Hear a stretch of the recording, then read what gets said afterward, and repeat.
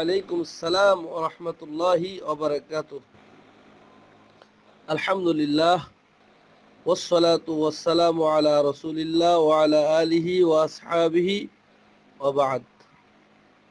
সম্মানিত ভাই, অনেকেই বলে থাকেন যে স্বর্ণ পুরুষের জন্য সামান্যটুকু ব্যবহার করা যায় আছে, এই ব্যাপারে জানতে চেয়েছেন। এটা সবাই জানে যে রসুল্লাহ সাল্লাহ আলি সাল্লাম স্বর্ণ ব্যবহার করতে নিষেধ করেছেন।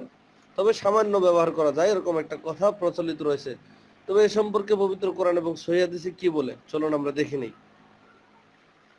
এ ব্যাপারে ইমাম তিরমিজি রাহমাউল্লাহ যে হাদিস নিয়ে এসেছেন সহিয়াদ তিরমিজির মধ্যে এক হাজার সাতশো বিশ নম্বর হাদিস।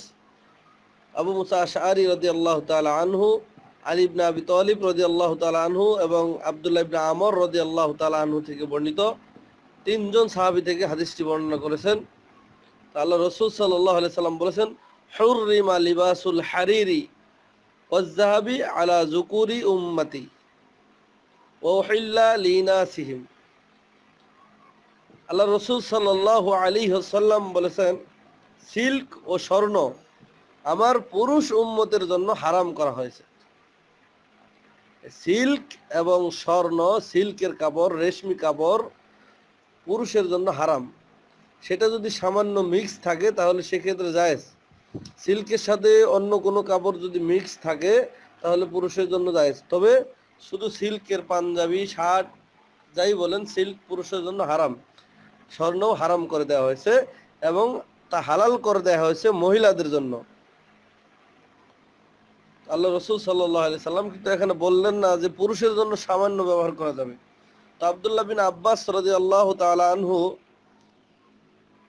এমর্মে সহি মুসলিমের যে হাদিস, দুই হাজার নব্বই নম্বর হাদিস, তিনি বলেন, একদা রসুল্লাহ সাল্লাহ আলী আসাল্লাম জনক ব্যক্তির হাতে একটি আংটি দেখতে পেলেন, স্বর্ণের। তখন তিনি ওই আংটিটাকে তার হাত থেকে খুলে ফেলে দিলেন। স্বয়ং রসুল্লাহ সাল্লাহ আলি সাল্লাম ওই ব্যক্তির হাত থেকে আংটিটাকে খুলে ফেলে দিলেন এবং বললেন, তোমাদের কোন ব্যক্তিকে আছে যে ইচ্ছা করে সেই আগুনের জ্বলন্ত কয়লা হাতে তুলে নিবে, নিতে চায় এরকম কোন ব্যক্তি আছে? এ কথা বলে রসুল্লাহ সাল্লাহ আলি সাল্লাম চলে গেলেন। তার মানে রসুল সাল্লাহ আলি সাল্লাম পুরুষের জন্য এটাকে জ্বলন্ত কয়লা হিসেবে আখ্যা দিয়ে গেলেন। চলে যাওয়ার পরে জনক ব্যক্তি ওই লোকটিকে বলল, যে আংটিটা উঠিয়ে নাও, অন্য কোনো কাজে লাগাতে পারো। লোকটি বলল, আল্লাহর কসম আমি তা কখনোই করিয়ে নিব না। যা রসুল সাল্লাহ আলি সাল্লাম আমার হাত থেকে ফেলে দিলেন।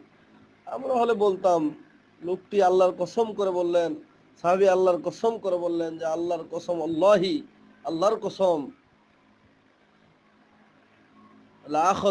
আবাদান। আমি কখনোই এটা নিব না, কখনোই নেব না। কেননা রসুল্লাহ সাল্লাহ আলি সাল্লাম নিজ হাতে যেটা ফেলে দিয়েছেন, সেটা আমি ধরবো না। আমরা হলে বলতাম যে, এটা বিবিকে দিয়ে দেই। সাহাবিদের আনুগত্য দেখেন কতটুকু? এখানে কিন্তু রসুল সাল্লাহ সাল্লাম বললেন, না, আংটি চেয়ে ছোট হয় কীভাবে আবার?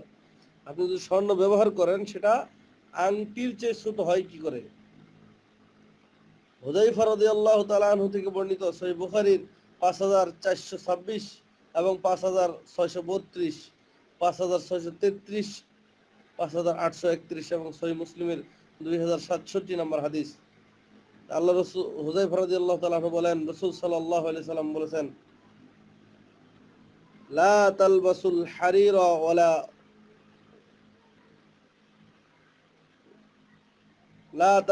হারির, তোমরা হালকা বা ঘন সিল্ক পরিধান করো না যেমনি ভাবে সোনার উপর পেলায় পান করো না। রসুল সাল্লাহ সাল্লাম বলছেন, তোমরা হালকা বা ঘন কোন রকমের সিল্ক পুরুষের জন্য ব্যবহার করা যাবে না। তেমনি ভাবে সোনার উপর পেলায় তোমরা পান করবে না এবং এগুলোর প্লেটেও খেও না। কারণ সেগুলা ওই প্লেটগুলা স্বর্ণ রূপের প্লেটগুলা কাফেরদের জন্য দুনিয়াতে এবং আমাদের জন্য আখেরাতে। আল্লাহ আলমিন আখেরাতে আমাদেরকে সিল্ক কাপড় পরাবেন এবং আখেরাতে আপনার ওই স্বর্ণের উপর প্লেটে খেতে দেবেন ইনশাআল্লাহ। এগুলা দুনিয়াতে কোনো মুসলিম পুরুষের জন্য জায়েজ নয়, হারাম। আল্লাহ রসুল সাল্লাম এ ব্যাপারে আরও বলেছেন যে, ব্যবহার করা তো দূরের কথা। সই বুখারির পাঁচ হাজার ছয়শো চৌত্রিশ নম্বর হাদিস, যে ব্যক্তি সোনা, রূপার আসবাবপত্রে খাদ্য বা পানীয় গ্রহণ করবে, সে যেন আল্লাহ রসুল সাল্লাম বলছেন, ফি বাতনিহি না আরও জাহান্নাম। নিজের পেটে জাহান্নামের আগুন ঢোকায়। সে যেন নিজের পেটে জাহান্নামের আগুন ঢুকিয়ে নিল মানে আগুন দিয়ে সে পেট ভরে নিল। অতএব এ কথা যুক্তিযুক্ত নয় যে এই সামান্যটুকু ব্যবহার করা যায়।